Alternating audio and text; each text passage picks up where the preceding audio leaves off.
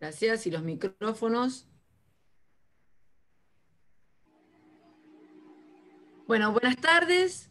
Eh, comenzamos otro ciclo, eh, continuamos con el ciclo de conversaciones con el arquitecto Grossman y esta vez tenemos una invitada de súper lujo, eh, que es la arquitecta Teresa Egoscue. Realmente para nosotros es un placer y un orgullo que nos acompañe, ya que fue la primera en ser presidenta del CEPAU y, bueno, y hoy que tanto se habla del empoderamiento de la mujer, creo que ella abrió un camino muy importante para todas nosotras. Gracias Teresa, gracias Luis, y reiteramos que por favor apaguen las cámaras y los micrófonos y lo dejo a Luis en la charla.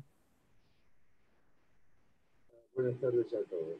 Eh, sí, hoy no solamente se trata de que sea una arquitecta, eh, por supuesto Rita siempre pone el acento en los temas de género, no puede con el genio. Y a mí es algo que me tiene sin cuidado. Creo hablando de una arquitecta excepcional, más allá de que da la casualidad que es una mujer. Pero y que además se destacó en muchas de sus actividades, no solamente en la proyectual, no solamente en la docente, sino también en la institucional. Como dijo recién Rita, llegó a ser la primera presidenta mujer en el CEPAU, en el año 2000. Es decir, antes de que estallaran todos estos movimientos, etc. Pero eh, a eso vamos a llegar con tiempo porque ahora está trabajando también con la Academia Nacional de Arquitectura o la Academia de Arquitectura. sí, no, nacional, no hemos lío por ahora. Sí, sí, sí, está bien, está bien. Eh, a mí me parece, yo cuando hablé con ella, eh, hace tiempo que no hablaba con ella, me destacó mucho los valores del equipo, de la familia primero y del equipo después. Como que todo formaba una, un, contorno, un entorno, una atmósfera que a ella le resultaba propicia y la, estimulaba para trabajar. Así que te, te pido, Teresa, que empieces por ese tema. No, bueno, lo primero es agradecer, eh, agradecer a la SCA esta, esta oportunidad de que conversemos. Por supuesto, eh, yo no creo ser una persona sola, yo he hecho todo mi camino en equipo y me tocó un poco por tener cierta facilidad para hablar o para comunicar, ser un poco como la voz del equipo. Pero sería muy ingrato y nunca lo he hecho de no destacar primero el equipo y después uno hace lo que el equipo necesita. Entonces, ¿por qué la familia? Y bueno, porque hay una situación que más o menos es conocida. Yo iniciamos este estudio en realidad fundado por tres compañeros de facultad que fueron Guillermo Vidal, Fernando Estalión y Bernardo Bichoff. Yo me sumé unos añitos después, pero el, estudio se fundó en el 65. Y, este, y yo me sumé después con una situación que se, se, convirtió primero en sociedad y después en matrimonio, así que tenemos como una especie de simbiosis este, profesión-familia que ya lleva 52 años y con ganas de seguir para, adelante, mientras la biología y la pandemia lo permita. Eh, entonces, claro, sí, porque hoy no estamos nadie libres. Entonces, eh, yo creo que acá hay una situación que probablemente ha facilitado las cosas para una mujer como yo, que además tiene cuatro, tenemos cuatro hijos, de poder trabajar con estas especies de de simbiosis facilitadoras, ¿no? Que, uno no tiene necesariamente que estar cumpliendo un horario distinto, que, hay como una hay como una hay como algo que ayuda a pesar de lo difícil que es y del trabajo que significa porque en todos estos años yo en general he dormido poco tanto en las épocas de chicos chicos como de docencia el fusible de los arquitectos es la noche. Cuando no llegó, el día no alcanzó, bueno, la noche queda. Y, de hecho ayer estuve también divirtiéndome con esta charla hasta las cuatro y pico de la mañana. No puedo, no puedo salir de esas, de este, esos vicios, digamos. Así que agradezco y, estoy a tu disposición, Luis, para que, para que bueno, me, preguntes. Del equipo y de la familia, eh, me gustaría verlos o que los vean los colegas y amigos que están viendo esto y, arrancaríamos con la producción. Eh, no, me, no me desengañen. Primero me dijiste que tenías fotos del estudio y de la familia y ahora bueno, ahora, ahora, ahora ponemos entonces un poco estas primeras imágenes eh, como para que podamos hablar de esto. Nosotros, eh, el estudio tiene 52 o 53, eh, se fundó en 1965, abajo hay una línea de tiempo de cómo fue avanzando. Por supuesto, en estos 52 años ha habido eh, cambios, eh, distintos intereses de algunos de los socios, fallecimientos, ha pasado un poco de todo, pero podríamos decir que entre el 65 y entre el 93 estuvimos eh, Fernando Astalión, Bernardo Bischoff, Guillermo Vidal y yo. El fundador en realidad del estudio, así como del hilo conductor de estos 50 y pico de años, es Guillermo Vidal. Y vuelvo a repetirte que yo soy una especie de vocera de, todo este grupo, porque realmente hemos trabajado, hemos trabajado todos con mucha ahínco, y en el, en el 2002, es 2003, se sumaron las arquitectas Gabriela Pastorino y Simoneta Pozzolo, que son como la sangre joven de, de todo este proceso, y hoy somos cuatro, que son estos cuatro que estamos acá. Eh, que somos los que venimos desde 2003 para acá. Ese sería el... Y lo que nos interesa, de, por eso quiero mostrar esto, estos son nuestros conceptos de lo que es un equipo. Nosotros creemos en la complementariedad, más la confianza, más la coordinación, más el compromiso, más la comunicación, y creemos que eso realmente tiene un resultado de equipo que a veces es más amplio, a veces es más corto, pero que tiene estos, estos valores, digamos, sin los cuales creemos que no se puede trabajar bien. Y em, tenemos un espíritu que me gustaría contarlo, que, que creemos en la arquitectura, que nace a la luz de una reflexión intensa, sobre todo acerca de la naturaleza del edificio o el programa que nos convoca, y a eso le llamamos las ideas fuerza que pueden ser muy distintas en cada proyecto y que tratamos de descubrirlas para poder avanzar. En general buscamos la, excelencia, tanto para lo que se produce como para las expectativas de, de nuestro destinatario de la arquitectura. Nos interesa descubrir siempre las leyes profundas de cada proyecto a partir de las cuales creemos que todo el diseño se estructura muy, muy importante, contexto, organización, tecnología, construcción, costos, comunicación y estética. O sea, buscando siempre un resultado integral eh, con la materialidad y con las ideas. O sea, no creemos que si no se sabe cómo se van a hacer, las ideas pueden no llegar a buen puerto. Y bueno, y seguimos a lo largo de cinco décadas y más, eh, sintiéndonos convocados siempre cuando hay la posibilidad de descubrir un, un nuevo desafío, un nuevo conjunto de ideas. Eh, nos gusta la investigación y la innovación y no nos asusta eh, meternos a descubrir cualquier proyecto aún cuando no hayamos hecho algo parecido.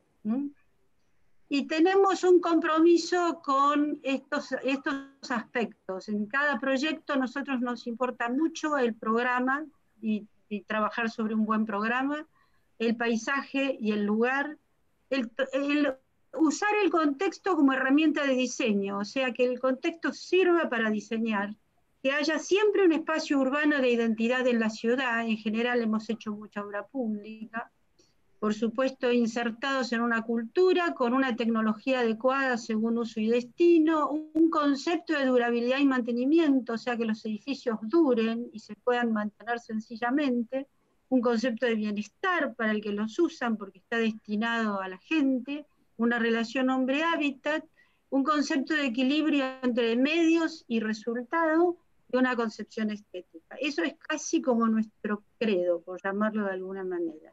Entonces, si te parece, eh, interrumpimos acá esta, esto y charlamos. Mira, la foto multitudinaria que mostraste del grupo Familia Estudio me dio me hizo acordar que cuando ustedes ganaron el Hospital Garrahan y semejante enorme obra y, de gran complejidad, no existía eh, ni AutoCAD ni ningún medio mecánico para reproducir esa cantidad de planos necesarias para esa obra. Por eso, cuando vi el grupo, esa multitud, me, acordé cuánta gente trabajó en ese momento con ustedes para la documentación del Gardahan.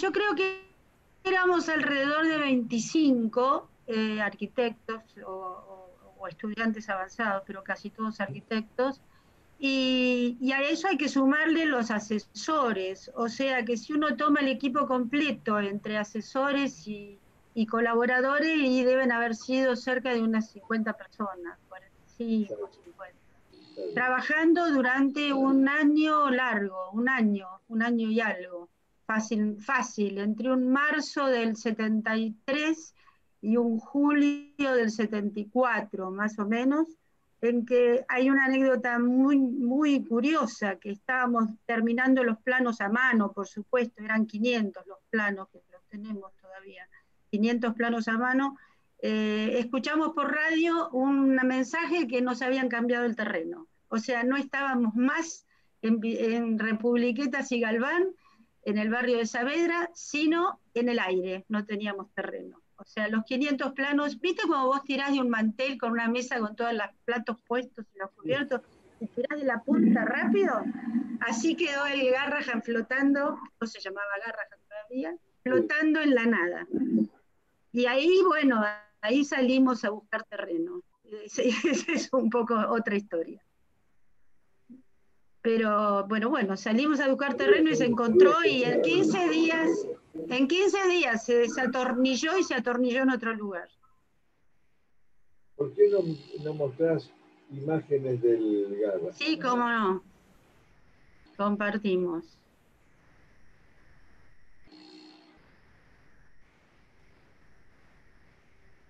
Esta es la maqueta del concurso. Me gusta mostrarla porque eh, es un poco como decir, el, el Garrahan se eh, arrancó el 7 de mayo del 71, va a ser 50 años ahora, el año que viene del proyecto, y se inauguró el 25 de agosto del 87 y este es el día de la inauguración, 18 años después, y a mí me, a veces me impresiona ver lo parecido que quedó, a pesar de que atravesamos cambio de terreno, 12 12, 12 presidentes, 30 ministros de salud, el proceso, qué sé yo, todo lo que pasó en el país terrible, y ahí llegamos con, la nave a puerto así. El edificio, las ideas del, del son muy, son muy simples. Eh, es abajo todo el diagnóstico y tratamiento, arriba todos los internados y en el medio caños y movimiento. Es una idea en corto hecha en una noche de esas sin dormir y pensando que el edificio tenía que ser casi gaseoso para poderse eh, cambiar en cualquier momento. Se sube desde un nivel intermedio, se sube o se baja, suben, bajan camillas, eh, sillas de rueda, gente caminando, y ese es un poco el concepto del hospital, que había alguno que decía graciosamente que lo podía hacer un maestro mayor de obras porque tiene nueve metros de alto.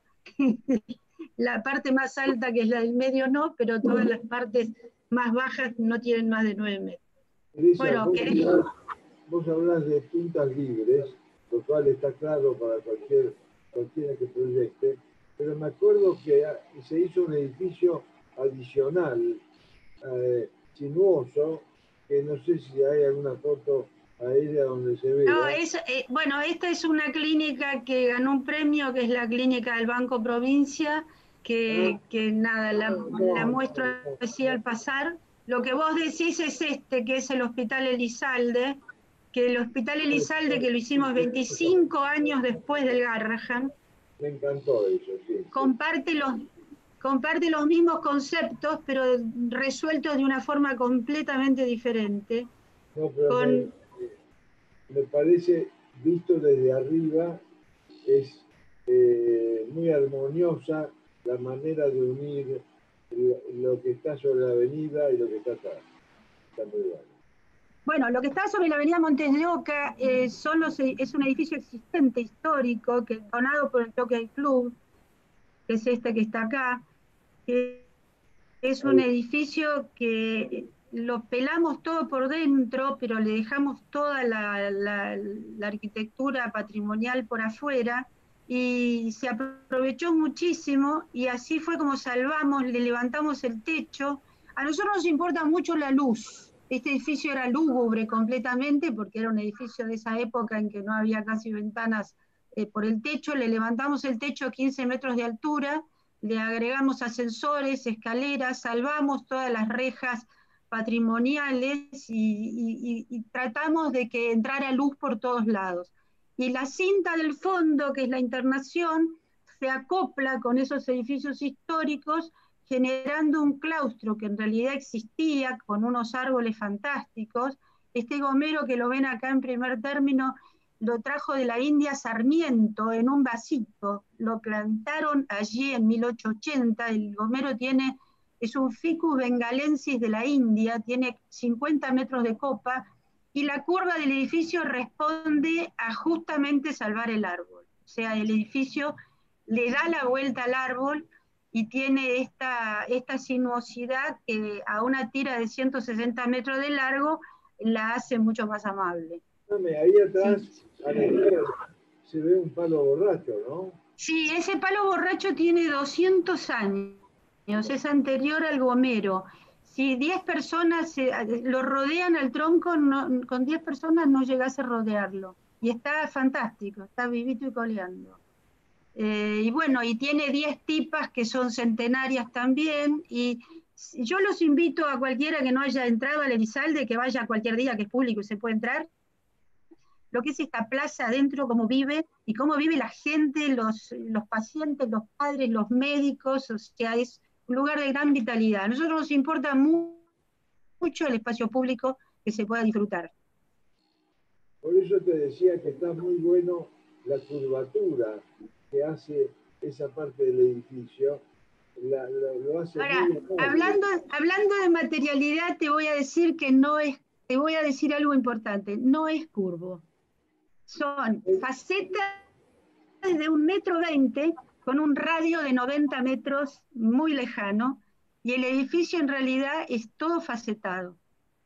Eso fue, por supuesto, una propuesta de la empresa constructora que fue Dicasa, la UTE de Casa Calcaterra, que el día que me propusieron hacerlo facetado, dije, no, dije yo, no, lo quiero curvo, lo quiero curvo, y me dijeron, bueno, le hacemos una muestra de 10 metros de largo para que vea que se nota la curva, y la verdad tenían razón y se construyó muy sencillamente con un agrimensor que fue el que se hizo la, la gran, eh, el gran trabajo poniendo una mira todo el tiempo para encontrar el punto de encuentro de cada faceta.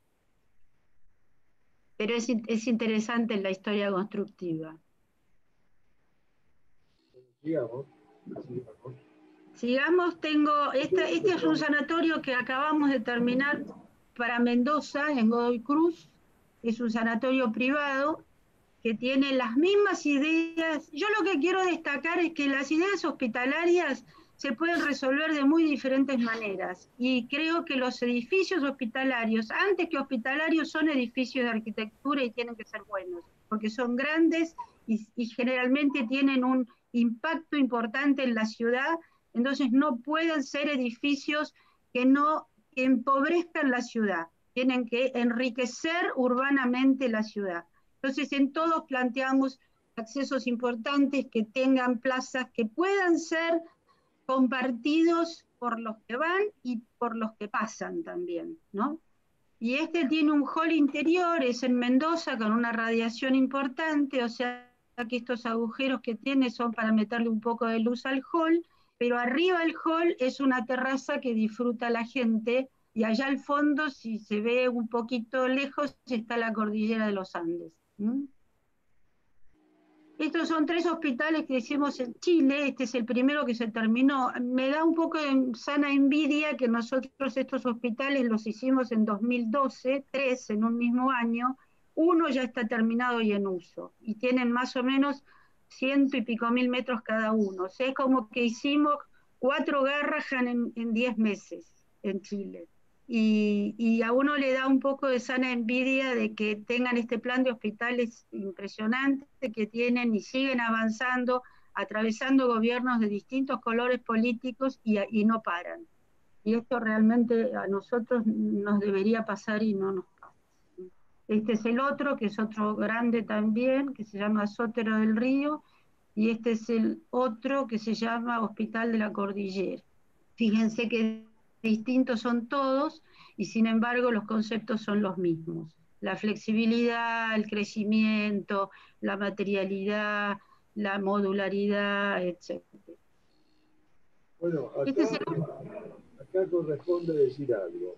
Eh, hace, acá está el, bueno, el del siglo XXI. Esto es en Córdoba. Sí, este es para, el, para la, la Universidad Siglo XXI en Córdoba, sí, dentro del campus es una universidad cuyo gran maestro hizo César Pelli, de quien pasado mañana se cumple un año de su partida. Eh, lo quería recordar porque es una fecha que tengo muy, muy, muy grabada. Eh, eh, ayer, hablando con un colega sobre la charla de hoy, me dijo, ah, María Teresa Agosto, sí, la arquitecta de los hospitales.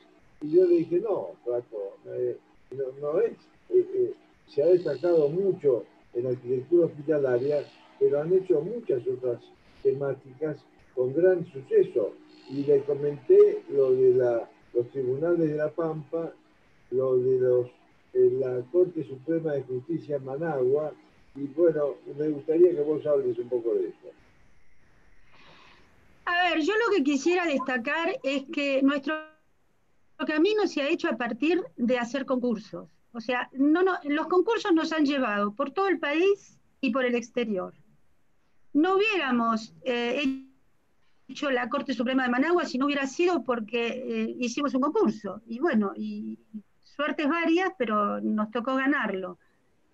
Por supuesto, hemos hecho muchos que no ganamos. O sea, esto es como un poco a veces la lotería, ¿no? Uno dice cuando gana y no cuando pierde, pero pero tenemos eh, alrededor de 350 o 400 concursos hechos con un resultado de 35 o 40 primeros premios, que muchos son obras. Entonces, yo quiero destacar que el sistema de concursos realmente, bien, bien usado, da la posibilidad de enriquecer a las ciudades con buenos edificios y al mismo tiempo da la posibilidad de investigar, porque si los arquitectos no hacemos concursos, no investigamos. Entonces, para mí el concurso tiene, tiene como dos principios básicos.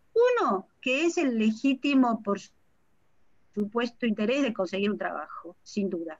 Pero el otro es el de aprender, porque en cada concurso que uno hace, aunque pierda, aprende. Y ese aprendizaje no se puede hacer si no hay clientes que te, o sea, si no hay un cliente que te contrate estas cosas, ¿cuál es la única forma de uno adquirir experiencia proyectual? haciendo concursos, que por supuesto son esforzados, son costosos, este, hay que emplear tiempo, etcétera, pero bueno, creo que es, es, es una forma importante de crecer y aprender y de tomárselos en serio, porque nosotros si hacemos un concurso, nos los tomamos en serio, como si fuera un cliente aunque no exista. Y no nos metemos en un concurso si no sabemos que lo vamos a poder hacer bien. Así que eso es un poco... a ver exactamente, exactamente. Este es el interior del, Hospital de Córdoba. Quiero destacar que acá hay una cosa muy importante. Acá hay un comitente que creyó en nosotros porque conoció a través de alguien que nosotros sabíamos hacer hospitales y realmente debemos agradecer al siglo XXI la confianza que nos dio porque este no fue un concurso. Esto, yo creo que es una de las pocas veces que alguien te llama por teléfono y te dice, por teléfono, sé que ustedes son buenos para hacer esto, este, los voy a ver, pero están contratados. Nosotros creímos que era un chiste. Y realmente cuando, cuando nos encontramos con, el presidente de la Fundación Siglo XXI, este, bueno, nos sentimos muy gratamente convocados y, por supuesto nos matamos para hacer el mejor edificio como si fuera un concurso muy difícil. Y bueno, ahora se están esperando mejores condiciones económicas y financieras para hacer la obra, pero este está recién terminado el año pasado. Ahora tomó, tomó tiempos difíciles y bueno, habrá que esperar un poco. Eh, eh, pero como vos decías, nosotros hemos hecho otras cosas también muy distintas y esta es la ciudad de Neuquén, que también es un concurso y que no es un hospital, es la sede central administrativa del sistema educativo de Neuquén, que está en un lugar muy inhóspito, empezando la barda de Neuquén, y que nosotros hicimos un edificio que se, eh, se opone a la principal esquina, que sería la, de Belgrano y Colón, que son las calles de la esquina, para generar una plaza interior opuesta al viento. Y el edificio se construyó y con un crédito del Banco Mundial tiene una plaza, como tienen los otros, donde la gente se puede reunir, tiene un auditorio y es un edificio muy amigable. Bueno, no sé si querés preguntar algo o, seguimos. O... No, no, no, no, yo quisiera que sí.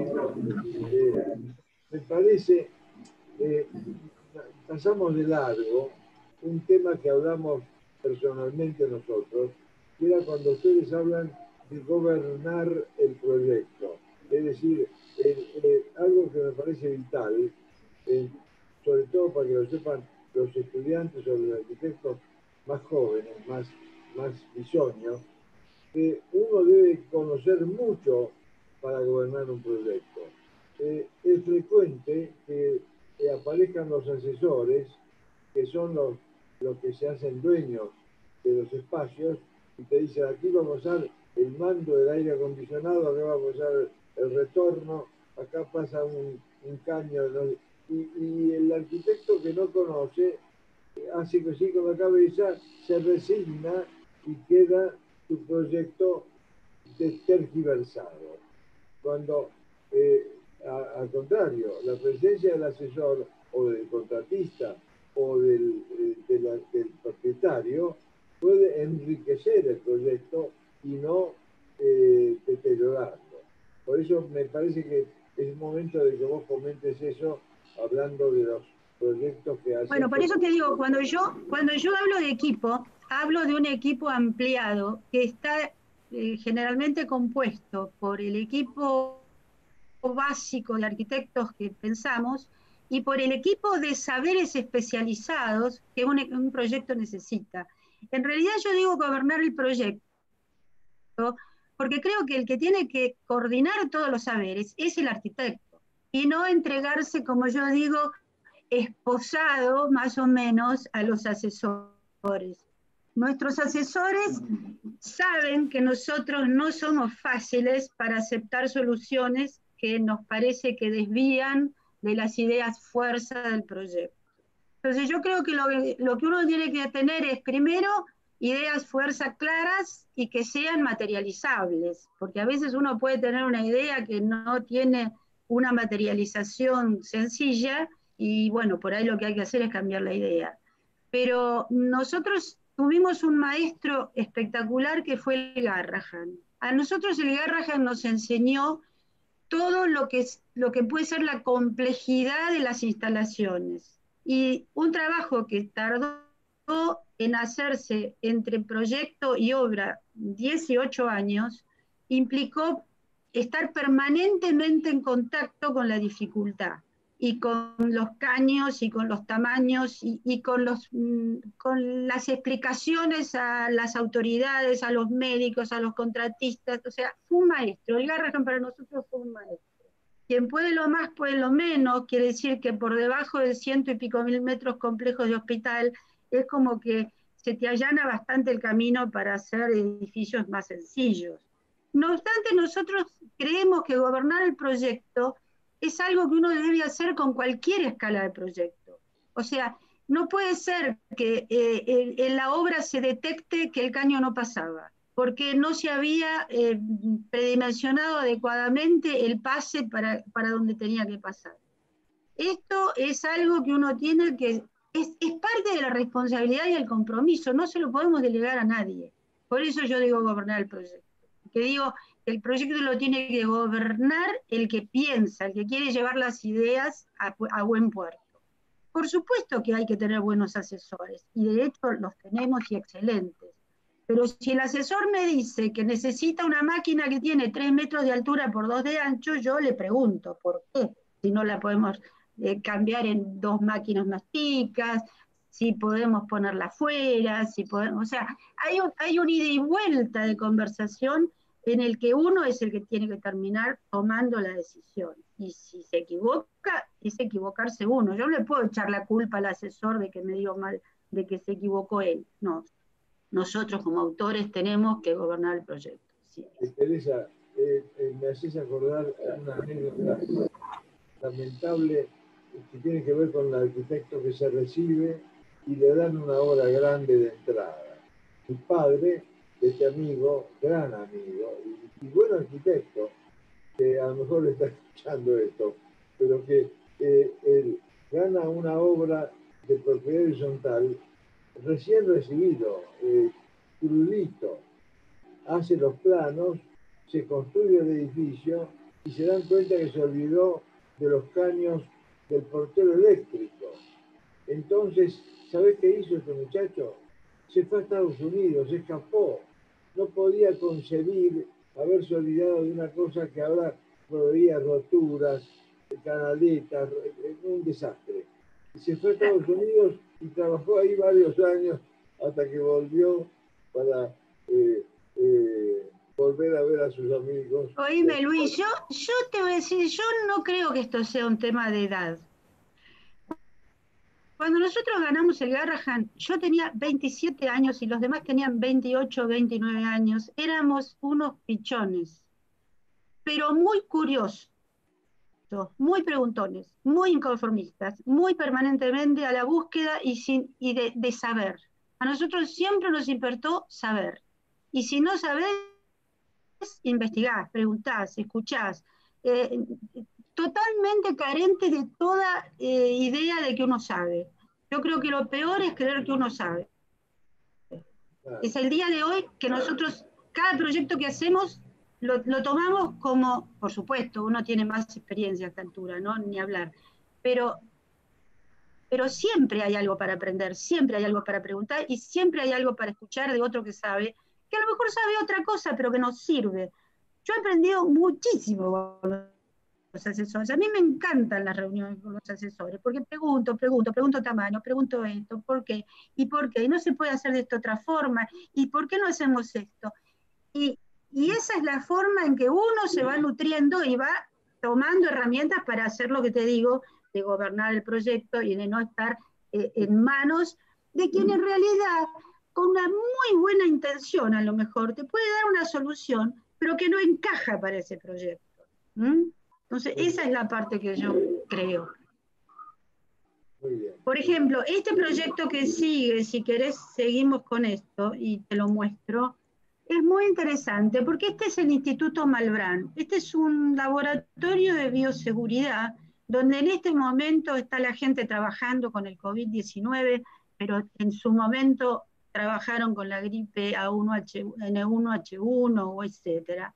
Este es un búnker de bacterias así como, como se presenta, es un edificio totalmente de hormigón, con un tabique de 18 centímetros de espesor, que les hicimos las rayitas, como podrás ver, porque era espantosa esa pared de hormigón toda lisa. Entonces lo convertimos en esta especie de, de rayado. La parte del laboratorio es solamente la parte del, del medio, lo de arriba es todo máquinas de aire, porque no se puede mandar a la atmósfera nada que esté sin tratar, y lo de abajo es un subsuelo de tratamiento de fluentes. O sea, esto que es una cajita de hormigón es un laboratorio de altísima complejidad donde todas las bacterias están adentro pero no salen a la atmósfera salvo muy tratadas o autoclavadas. Muy bien, muy bien.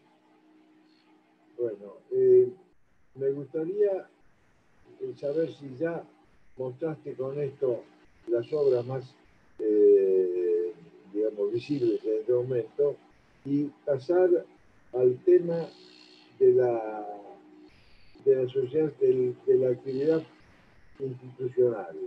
Porque, como dije antes,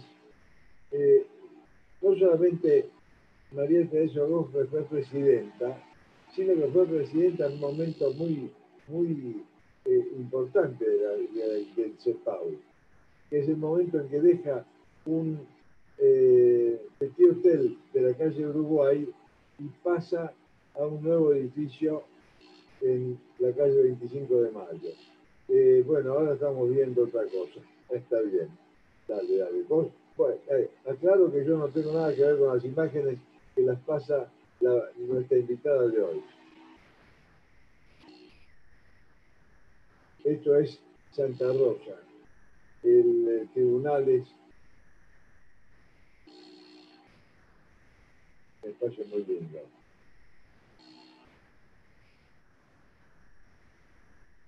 No te escucho ahora. Eh, Teresa, por favor, tenés el micrófono apagado. Teresa, tenés el micrófono apagado. Ay, ahora, ahora sí, ahora sigue hablando, por favor. Ah, se prendió, pero yo no lo había apagado. ¿eh? Bueno, bueno.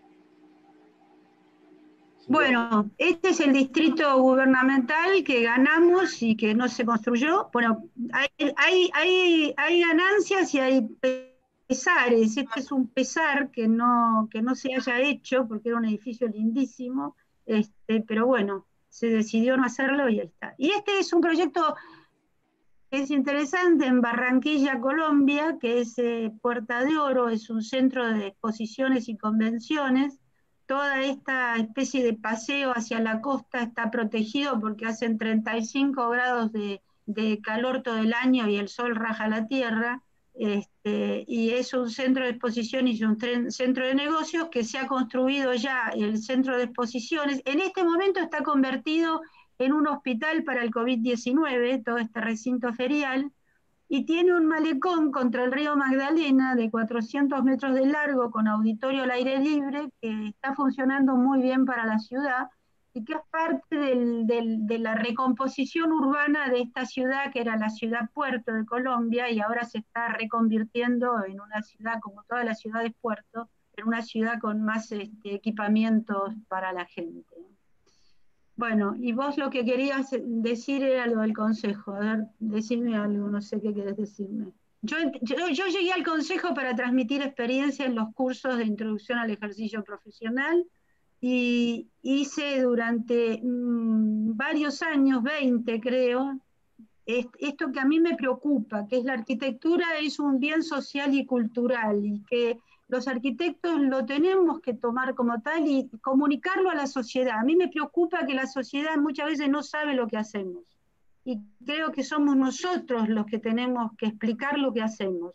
Entonces las entidades son las que de alguna manera hacen de interfase entre el colectivo de los arquitectos y la sociedad y tenemos que hacer bien las cosas para que la sociedad nos crea y tenga confianza en depositar en nosotros patrimonios y, expectativas y esperanzas.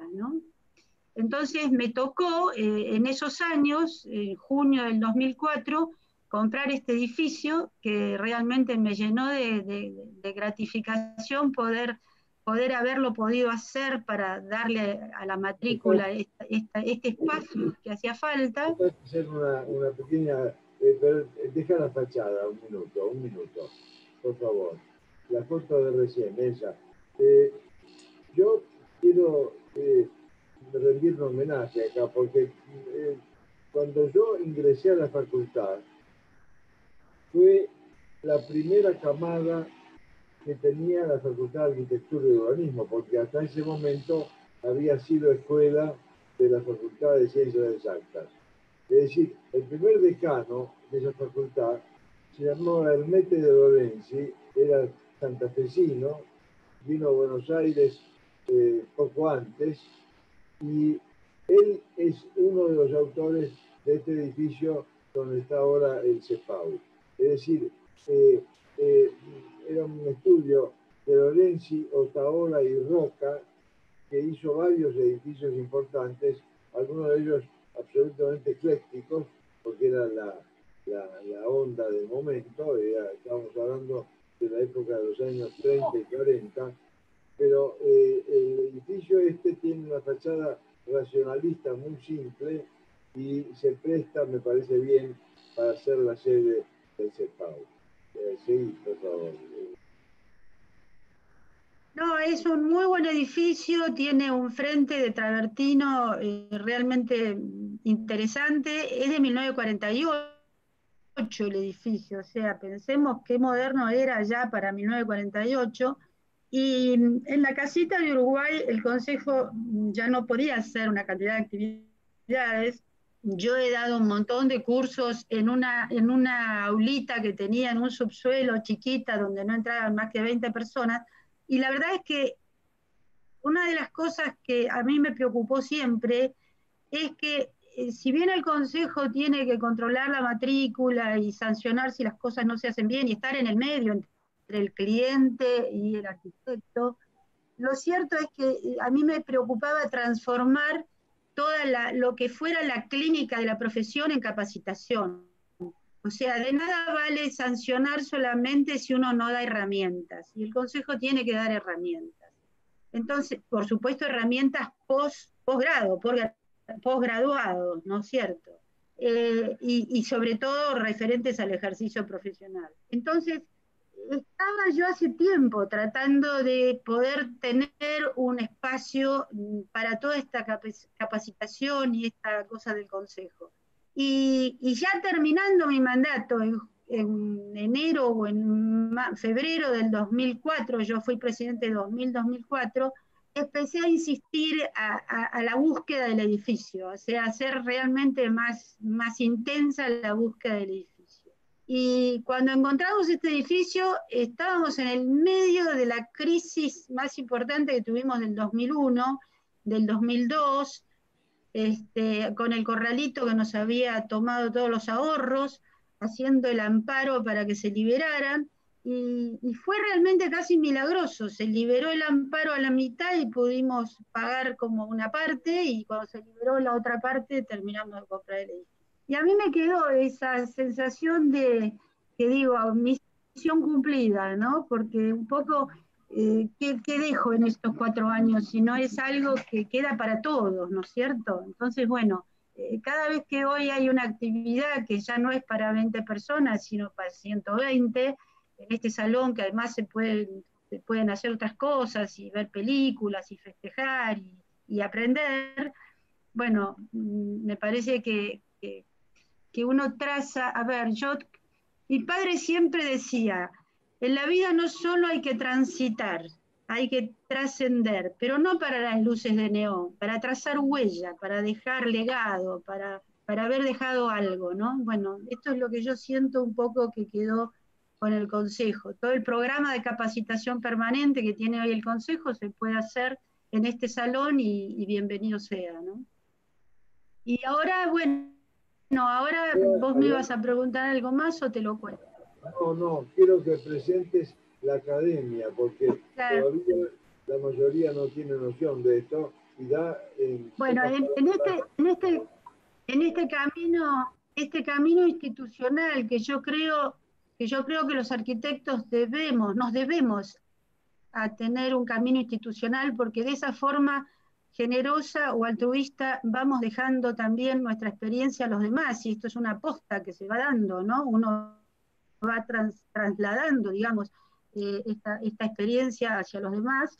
Eh, em, quiero destacar que recibí un llamado telefónico para un año y medio más o menos de Carlos Hernáez, del arquitecto Carlos Hernáez, que me dijo que se estaba gestionando la Academia de Arquitectura. Fue un llamado rápido, eh, me lo explicó rápidamente y, me dijo, y pensamos en vos y si querés ser vicepresidenta. Y yo estaba como con el tubo en la mano diciendo, ¿qué es esto? Porque un poco como que me tomó de sorpresa.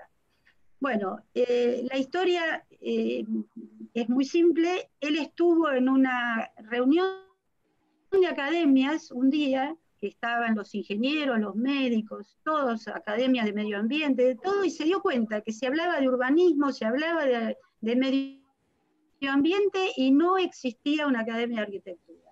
Y sintió que tenía que promocionar esta idea y, motorizarla, y, realmente ha sido como el inventor de esta idea. Después nos hemos sumado varios, pero, pero esto nació así, en una reunión de academias donde los arquitectos no tenían academia.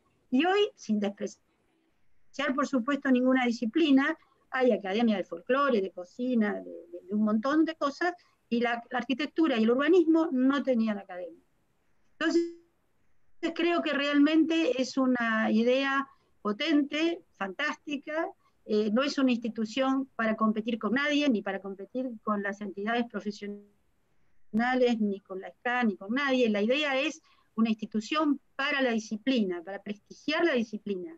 Que todos sabemos bien que la disciplina viene un poco desprestigiada, devaluada. Eh, acá sobre todo cuesta conseguir que se entienda lo que los arquitectos hacemos, darle valor a lo que son realmente eh, el, bien social y cultural que representan después los edificios que van enriqueciendo las ciudades, las ciudades que van creciendo a partir de buenas este, trazados urbanísticos, el paisaje. Entonces, es una, es una institución que está naciendo, cuesta mucho hacerla nacer, pero ya tiene su personería jurídica, su cuenta de banco, todo. No hemos podido acceder todavía al carácter de nacional, porque para eso el Ministerio de Educación tiene que poner fondos, que en este momento, por supuesto, nos dijeron que no podían ponerlos, entonces optamos por tener una academia de arquitectura y urbanismo que a futuro, eh, con el andar de los tiempos, pueda tener su carácter de nacional. Es la Academia de Arquitectura y Urbanismo de la República Argentina. Está integrada por una cantidad de arquitectos que nos hemos autoconvocado en cierta forma a partir de esta idea inicial. El presidente es el arquitecto Míguez, José Ignacio Míguez, el secretario es Carlos Hernández, el tesorero es Daniel Silverfaden, el pro tesorero es Alberto Varas y yo soy vicepresidente. Y después están Mónica Fernández, Roberto Eisenson, Enrique García Espil, Heriberto Allende, eh, Mario Sabugo, Hampton, eh, espero no olvidarme nadie, Cora Burgin por el paisaje, Nani Arias por el patrimonio, en fin, como un arquitecto representativo de cada área, porque la, arquitectura es una disciplina muy amplia, entonces como de cada área, de, hasta Antonini también, Solsona, que eran académicos ya, de Fernando Díez por medio ambiente, o sea, un grupo diverso y como con mucha polenta y fuerza para convertir esta entidad en una entidad que realmente ayude a prestigiar la arquitectura y el urbanismo. Ese es básicamente el, el, objetivo, digamos.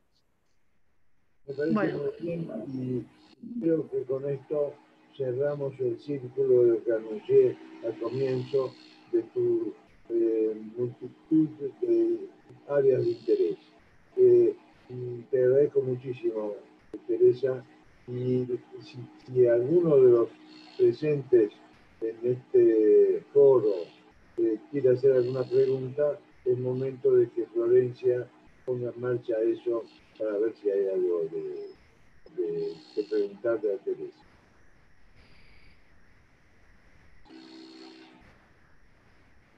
Les anuncio que el próximo visitante y invitado es el arquitecto Carlos Salaverri, que va a estar acá con nosotros el día, si no me equivoco, lo tengo por acá, es el día 14 14 de...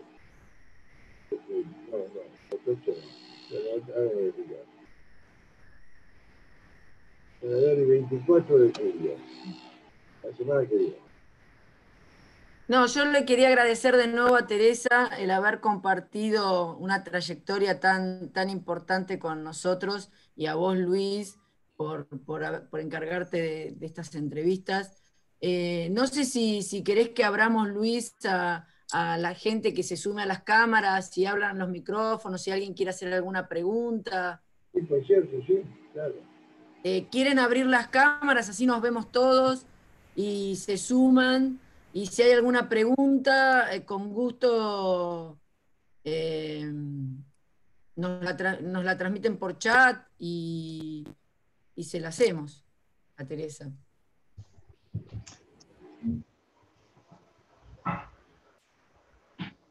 La verdad que es una trayectoria impresionante la del estudio, eh, con muchas obras importantes.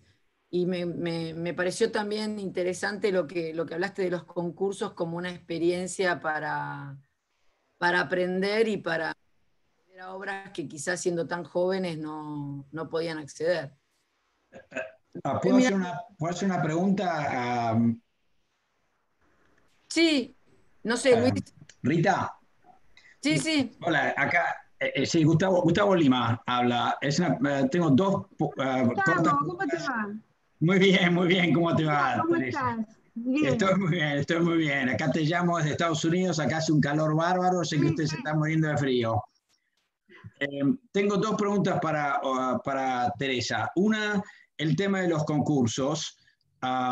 vos sabés que acá en Estados Unidos la cosa es, es como casi al revés de lo que de lo que vos decís, muy poco trabajo se gana por concurso de anteproyecto, todo es por concurso de antecedentes, ¿no? Entonces, ah, en el concurso de anteproyecto, ¿cómo ves el tema de la ah, que se convierte en una especie de concurso de belleza? No se sabe la, profundidad con la cual el proceso ha estado analizado y en proyectos tan, complejos como el, como el digamos, hay mucho, ah, el, demonio está en los detalles, ¿no es cierto? Así que tenés que tener un grupo de asesores y de gente que sepa esto muy, pero muy bien, que es muy difícil de, de ver al nivel de información provista en un concurso anteproyecto, ¿no? Que es muy, ah, muy liviana. Eso es una pregunta. La segunda pregunta, cortita también, déjame la segunda pregunta, porque por ahí querés contestar la segunda primero. Eh, veo un, eh, me, gustó muchísimo el, primer slide que pusiste con todos los, los ah, conceptos directrices de tus, con, todos los conceptos directrices de tus ideas, ¿no es cierto? Y me gustó muchísimo que el tema de la estética era número 11, ¿no es cierto? Hay otras cosas con más importantes. Eh, y entonces me gustaría una reflexión de tu parte, que ha sido eh, una representante del, del trabajo concienzudo, con, mirando el tema del, del, usuario, del programa, de los costos, de la tecnología constructiva. ¿Cómo ves lo que hoy en día vemos en la tapa de uh, Architectural Record, ¿no es cierto? Y ves a gente como Zaha Hadid o Thomas Main o, o Big o Snowheta y, y con, con un enorme esfuerzo visual y estético y uno se pregunta cuál es, eh, qué es lo que hay detrás de eso, ¿no? Eh, a, ver, tengo la, pregunta fuera de, fuera de cámara, como diría. Me, me, preocupa, me preocupa porque creo que la arquitectura no se puede pensar para los próximos 5 o 10 años. O sea, eh, la arquitectura hay que pensarla por lo menos para 50. Y si nosotros, eh, nosotros provenimos de un país, y te digo así porque vos estás allá, de un país con muy pocos recursos para hacer edificios, un país que tiene cada vez menos recursos. Entonces, si nosotros pensamos que un edificio eh, eh, va a ser bonito y efímero y no, ni no va a ser sólido y durable, y estamos mal, porque le estamos, le estamos dando un patrimonio poco durable a un país que necesita que las cosas duren y que no tenemos la posibilidad de reponer edificios a cada rato. Eh, me preocupa también un poco toda esta cosa estética, eh, eh, visual, como vos decís, porque creo que si vos pensás en 50 años para adelante, o con este pensamiento ¿no? de que los edificios tienen que resistir, y yo no sé si esa estética dentro de 50 o 60 años no va a ser completamente de modé. Este, no digo hacer el Partenón, pero, pero digo, eh, el clasicismo bien entendido eh, es, em, como más inmanente, ¿no? O sea, si, uno toma el movimiento moderno inicial, o toma Le Corbu, toma Alvaralto, bueno, un poco más orgánico, y son obras que trascienden las generaciones y si están bien mantenidas, este, sirven y están bien. Y a mí me preocupa mucho nosotros, nos preocupa mucho la gente también. Yo te voy a decir, yo me hice un viaje a Bilbao este, para, por un, tuve un congreso en Barcelona y, me hice una escapada a Bilbao, en realidad pensando ir a ver el, el museo del Guggenheim.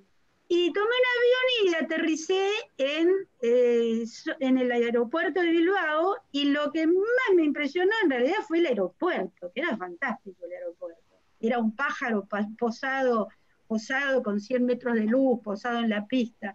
El museo me pareció que era casi hasta gracioso en algunas cosas, pero lo más gracioso fue el taxi que me llevó que me dijo, mire, yo, yo no sé si será, esto será lindo, feo. lo, lo, único que yo sé que yo gano mucho más plata por la gente que viene a verlo. O sea, era como, es cierto, es como algo que de repente se toma para reformular o, un atractivo a una ciudad. Ahora, cuando me metí en el museo, eh, en el museo lo de afuera no estaba, era otra cosa, era una caja negra adentro donde todos los rulos del bicho este de afuera no estaban. Y, para mí un edificio tiene que ser consistente adentro y afuera, y no digo a lo noitra de que el espacio interior y el exterior se mezclen, pero la verdad, cuando uno entra a un edificio, lo tiene que poder entender desde afuera, y no que cuando estás adentro lo de afuera era como, un, como una cosa que nadie sabía que estaba, o sea, como casi como surrealista o disruptivo.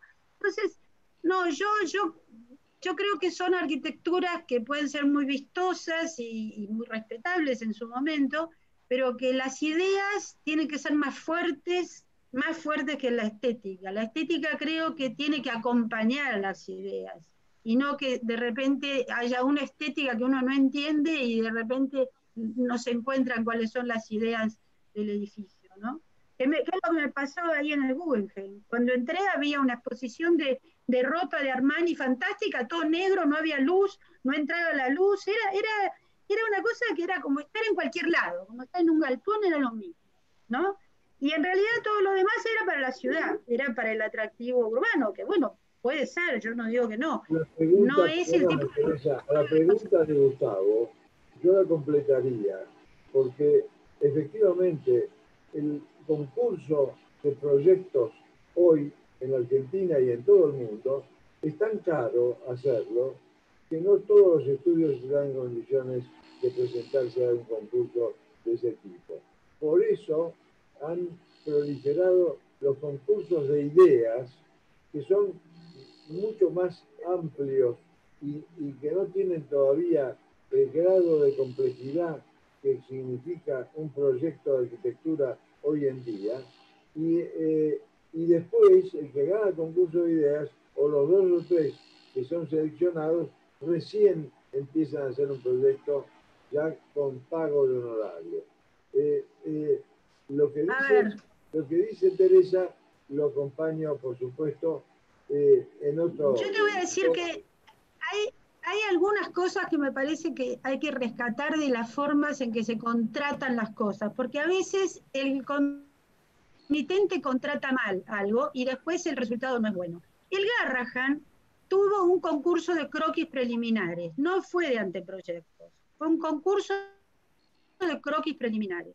Y en las bases del concurso, el ministerio se reservaba el asesoramiento mm, sanitario y funcional del, anteproyecto. O sea que nosotros teníamos eh, ganar el concurso con unas eh, grandes ideas y después tuvimos, y acá quiero destacar muy bien la presencia de la arquitecta de Bougie, a la que acabamos de lamentar que se nos fuera el 12 de abril, pero que fue el alma del ministerio en ese momento para coordinar y dirigir el proceso. Nosotros trabajamos un año y medio, íbamos lunes, miércoles y viernes al ministerio a corregir como alumnos con la arquitecta de Bougie, la arquitecta Sandoval, con quien hoy comparto la maestría de arquitectura en salud de recursos físicos, a corregir hasta dónde se ponían las puertas, dónde abría la puerta para cada lado. el, el, ministerio, a través de su dirección de arquitectura de salud, corrigió todo el anteproyecto. Y nosotros con ese anteproyecto corregido y trabajado con el ministerio, recién desarrollamos la documentación de proyecto. Esto llevó entre el año 71 en que se ganó el concurso hasta el 73, casi dos años fue este proceso. Ese es uno. El otro, el otro concurso que, creo que es importante que ganamos, que es el Hospital Elizalde, también tuvo una buena contratación del comitente, porque contrataron programa, proyecto y, em, y, programa de, de equipamiento. Y después cuando se contrató la obra, contrataron obra, equipamiento y puesta en marcha. Si todas estas cosas uno no las atiende y estos procesos empiezan a dar separadamente, terminás teniendo un Frankenstein después. Porque uno hace el programa, otro hace el proyecto de esto, otro mete los equipos, otro, entonces se rompe todo, que en el Garrahan pasó que cuando se pusieron los equipos hubo que romper un montón de partes porque a nadie se le había ocurrido por dónde entraban las cosas porque no se sabía lo que había que poner adentro. Pero bueno, yo creo que el contratante tiene mucha responsabilidad en las bases de los concursos y no estoy muy de acuerdo con los concursos de ideas muy light. Creo que los concursos tienen que tener una buena base.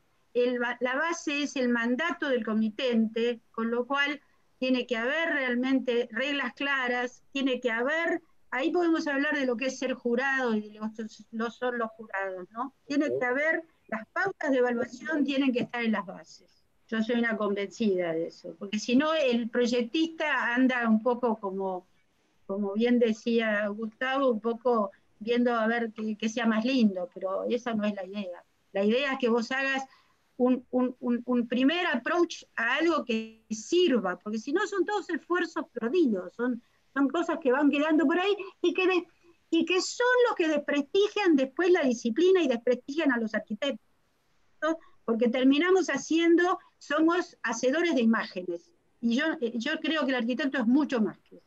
El arquitecto tiene que saber tecnología, tiene que saber ciencia, tiene que poder combinar arte y ciencia y tiene que brindar un producto sólido, eh, funcional y patrimonial por la plata que se gasta para que el bolsillo del que pagó tenga realmente un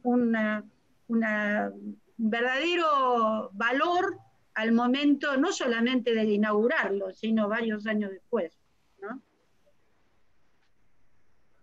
No sé, Gustavo, si eso contesta en algo lo que me eso, preguntabas. Eso es perfecto, eh, eh, Teresa, sí, estoy totalmente de acuerdo. Y por ahí, sí, para eh, informar un poco más o quizá hablar con, con nuestra audiencia, vuestra audiencia hoy, ¿podrías contar cuán distinto habrá sido el trabajo que hiciste en Chile, que son PPP y eh, proyectos PPP? Sí, ¿No es cierto? Sí, De, de uh, private partnerships, right? Muy distinto de como contaste del Garahan, right? Ahí hay una, o quizá uh, educarnos un poco a ver cómo fue eso.